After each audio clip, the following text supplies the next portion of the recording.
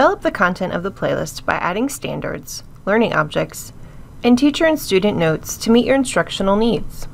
To add standards, click the Add Standards button, choose a document and standard set for the relevant grade range, select the standards that apply, and click Submit to add them to the playlist.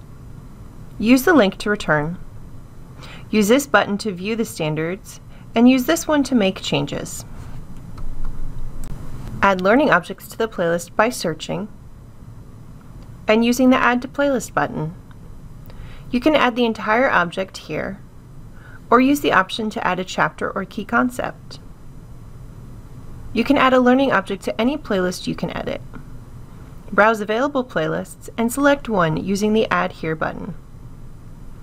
Close the confirmation window to continue.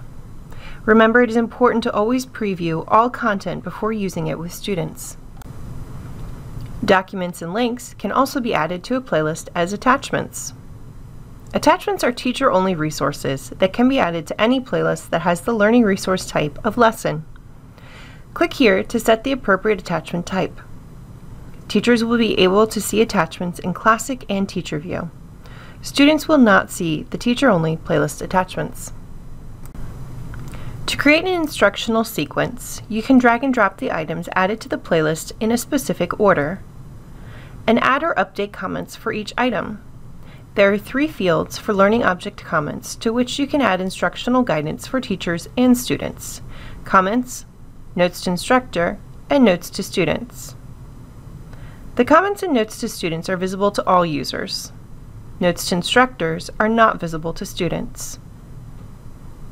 There are also tools to move or copy an item on the playlist to another one.